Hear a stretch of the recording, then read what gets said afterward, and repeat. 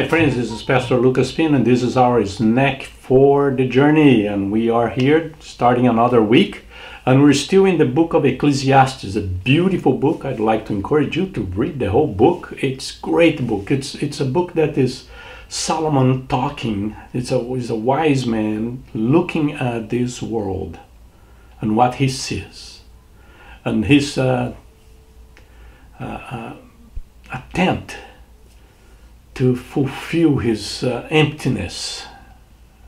And it's it's it's it's great at, at least and at the same time sad to see his uh, the struggle that he goes through life being a very wise man powerful man rich he has everything and at the same time he said everything is run after the, the wind. It, we, it cannot fuse it's emptiness the emptiness is it's, it's too big so we see this, and, and then he is in the middle of the whole thing. He gives kind of advice for us to how we can manage this kind of situation.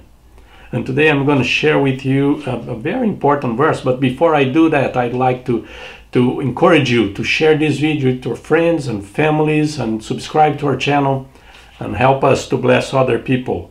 The verse for today is chapter 7, chapter 7, verse 5 5, look what uh, Solomon wrote. It is better to heed a wise man's rebuke than to listen to the song of fools. And it's the, the comparison here is very is very clear.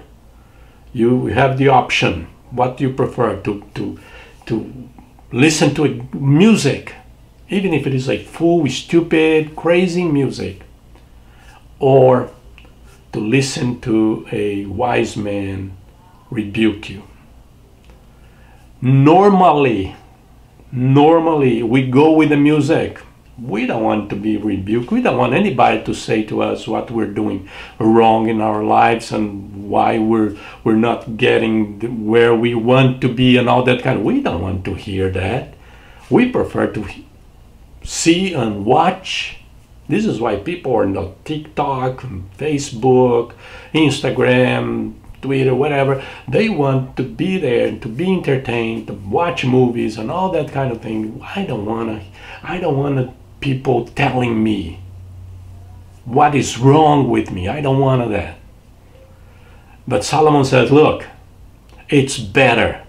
It's better to hear the rebuke of a wise man someone that is good, someone that understands life, someone that walks with the Lord, it's better to heed, to pay attention what they have to say than to go after all the other entertainment aspects of life and just kind of kill time and, and do things that is not important.